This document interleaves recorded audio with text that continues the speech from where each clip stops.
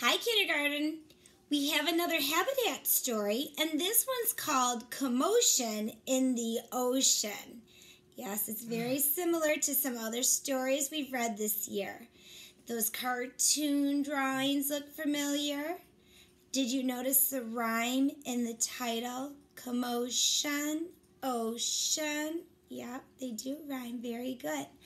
Well, boys and girls, today my excuse for getting to read this story to you is we'll have the goal of trying to figure out what is causing the commotion in the ocean. That's right. We're using this week's hmm. strategy of asking questions about what we're reading and trying to find out the answer. So the big question is going to be what is causing the commotion in the ocean? I'm going to get reading because it's kind of a long story and we can't go over our 15 minutes, can we? Here we go. Commotion in the ocean. There's a curious commotion at the bottom of the ocean. I think we ought to go and take a look. You'll find every sort of creature that lives beneath the sea mm. swimming through the pages of this book. Mm. There are dolphins, whales, and penguins. There are jellyfish and sharks. There's a turtle and the big white polar bear. But can you see behind the rocks and between the rocks? Let's take a look and find who's hiding there. It's like we're looking out of a window in the bottom of a ship or in a submarine and getting a good view of the ocean. That would be a fun picture to draw, wouldn't it? What you think you would see? The crab.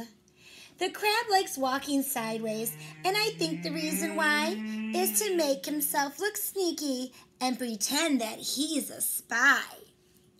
Turtles. We crawl up the beach from the water to bury our eggs on dry land. We, we lay a whole batch, and then when they hatch, they scamper about in the sand. Yes, I did notice that, Ishi. Yep, batch and hatch rhyme. Good one. Dolphins. The wonderful things about dolphins is hearing them try to speak. It's not how do you do, I say to you. It's more of a click, whistle, squeak. Yep, that's how they communicate. Yes. You knew about echolocation? Why am I not surprised you already knew about that, Lou? Yeah, that's how they communicate with each other, isn't it? The angelfish. Hello, I'm the angelfish, darling, the prettiest thing in the sea. What a shame that there are no other creatures as gorgeous and lovely as me. Oh my goodness, I guess that's her opinion. Yeah, somebody might think something else is more beautiful. The jellyfish. The jellyfish just loves to jiggle, which other fish think is quite, uh oh, silly. She knows that it's not all that's useful, but jiggling's lots of good fun. Look at that pretty jellyfish. Yeah. I remember one time going to the zoo in Toledo and getting to see a real jellyfish and just being amazed at that creature. Hmm? Tommy remembers going there too. Here's the shark. I swim with a grin up to greet you. See how many jaws open wide? Why don't you come a bit closer? Please take a good look inside. How many of you would want to get close to a shark? Oh, look at those jaws. One of you had a shark tooth. I can't remember who it was. I know Betty did tell me she wants to see the shark. I don't know. Jason, you do too? Why am I not surprised you're an adventurer? The swordfish. I love to chase after small fishes. It keeps me from getting too bored. And then when I start feeling hungry, I skewer a few on my sword. Yeah, he skewers it kind of like when you take a fork and you stab into your food. Yep, that's what he's talking about when he says he skewers it. The octopus. Having eight arms can be useful. You may think it looks a bit funny, but it helps me to hold all my children and tickle each one on the tummy. Yep, Daniel, I think that's what Grandma needs. She needs eight arm for all you boys, doesn't she? Eight of those arms, that would help. That was weird, like. Stingray. At the bottom of the ocean, the stingray flaps his wings, but don't you get too close to him. His tail really stings. The lobster. Never shake hands with a lobster. It isn't a wise thing to do. With a clippity clap and a snippity snap, he would snip all your fingers in two. Nora, when I was looking at you, I could see your eyes get really big when I said don't shake hands with a lobster. Almost like you wanted to warn me what could happen. Deep sea, miles below the surface, where the water's dark and deep, live the most amazing creatures that you could ever meet. There are fish of all descriptions, of every shape and size. Some have giant pointy teeth and great big bulging eyes. Some of them can walk around and balance on their fins, but the strangest fish of all have glowing whiskers on their chins. Now that's a strange fish, isn't it? Boys and girls, I want to pause for a moment and ask a couple questions about this page since it's a good strategy. Did you notice the kind of words they were using? It's one of the other skills we're going to practice this week we're going to be talking about describing words. We call describing words adjectives. We call them adjectives when they're describing a thing. We call them adverbs when they're describing an action. We're probably going to talk the most about describing things this week. But look at how the author chose really interesting words for describing. I'm going to reread this little paragraph here and see if we can find the describing words. Look at, they even use the word descriptions. It sounds like describes, doesn't it? There are fish of all descriptions of every shape and size. So, shape and size can describe things. Some have giant pointy teeth. Who knows how they described the teeth? Who remembers? Did you get that? All right, go ahead, Huxley, tell us. Giant and pointy both told us what the teeth looked like. And because the author used those describing words, I could imagine them in my head. It helped me visualize those teeth. Right, they weren't little tiny flimsy teeth. They were giant and they were pointy. Mm-hmm. All right, let's find out another sentence with the describing word. And great big bulging eyes. What did you notice there? Did you find one, Mason? You found three? Are you going to tell me all three? Okay, what were they? Yes, great. Uh huh. Big, yes, great and big are similar words, but they're a little bit differently used sometimes. And bulging, what does bulging mean? It looks like it's about to explode. Those eyes are so big, they look like they're going to pop out of the fish. I mean, I hope they don't. That would be kind of weird but it does give you a really good description. All right, boys and girls. Well, I'm glad we stopped to ask the question about how the author was describing these fish because not only did it help me understand, but it helped me have a picture inside my mind. I think I'm going to try to use describing words when I write next time. The blue whale. There's no other beast on the planet as big as a giant blue whale. He measures a massive 100 feet long from his head to the tip of his tail. That would have been a great 100 stay fact. Look at whoosh.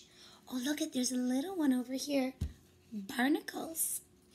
We're just a bunch of barnacles, and all we do is cling.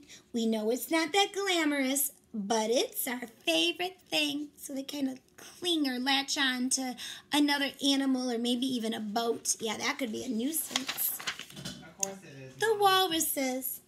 Our bodies are covered with blubber and our tusks are incredibly long. We're grumpy and proud and we bellow out loud to show that we're mighty and strong. Yeah, they have kind of a unique noise that they make. And you can see why they use the word long when they were describing their tusk. Can you imagine having tusks like that? I'm kind of glad we don't. Penguins. We waddle around on our icebergs, which makes our feet slither and slide. And when we get close to the water, we leap with a splash off the side. Mm-hmm. polar bears. Deep out in the Arctic, the mommy polar bear snuggles up with all her children since it's very cold out there. Hey, do you know a little bit about polar bears and penguins? We find the polar bears in the Arctic. Yep, that's the North Pole. Do you know where we find penguins? Who knows that? You do know, Reed? Okay, tell us. You're right, in the South Pole, in the Antarctic. You know a lot about habitats. I was much older before I knew the difference between those two places. What a lot of creatures we have seen beneath the sea. What a lot of funny things they do. Some of them might lick their lips and eat you in one bite. And some might want to swim around with you. The dolphin's very friendly and the lobster's very fierce, but the shark is the most dangerous by far. Can you name the other friends we've made along the way? See if you can tell me who they are. Oh, that's going to be another challenge for us. So there's two questions that we're going to try to answer. We're going to try to answer what's causing the commotion in the ocean and see if we can get specific with the names of the animals in the ocean. All right, who wants to tackle our question? Oh, there were so many great listeners. All right, I'm looking around. All right, Jacob, what is causing the commotion or the noise and the craziness in the ocean? Oh, both Jacobs know. All right, tell me at the same time. One, two, three. Yes, it's those creatures, those animals that live in the ocean with all their different types of movements, the things they need to do. What do animals need to do? They need to find their food. That's right. That's one of the things. They need to find shelter or protection. Look at the seaweed that they're hiding in. Yep. When this little fishy here wants to get away from the shark, he's going to cause a commotion and he's going to get quietly snuggled down in that plant, isn't he? All right, so we found out the answer to our question that the animals are causing the commotion in the ocean habitat. Can you tell me a detail? Remember the question the author asked us? They said, Can you name the other friends we've made along the way? All right, which animals did we learn about? Okay, all right, go ahead. Nora, get us started. Yes, there was a walrus. Very good. Is she? Octopus. Good. Keep going. Tyler, what did you see? You noticed the swordfish. Oh, you gave me a very particular name of a fish. Thank you. Very good. Okay, Salvatore, what do you want to talk about? You wanted to mention, oh, yeah, that angelfish, that, yeah, kind of a little bit rude, yeah, but it was in the story nonetheless. Very good. Okay, good. Uh, give us another one. All right, Daniel? The stingray. Very interesting. Okay, Mason, what did you notice? Uh huh. Oh, the whale. That's right. The great big giant one. Okay, good. Okay, Priscilla, what did you notice? Okay, did we mention that one? Off? No, we did not mention the jellyfish yet. You're the first one to remember it. Good. Capri, you have one for us? All right. Which one were you going to talk to us about? Oh, I don't remember that one. You are right. There is a lobster in here. That's right, because I said Nora was going to warn me about the claws. Very good. Well, boys and girls, it looks like we just got a visitor to our home. It looks like Mary stopped in as I'm finishing reading this story. What could we do if we couldn't remember what other animals were in? Yes, we're going to go back Take a look in the book, go in the text. Kind of like when I didn't remember Capri's answer for sure about the lobster. Yep, very good. All right. Boys and girls, thank you very much for working on the story, The Commotion in the Ocean with me. I'm going to go check on the commotion in my house.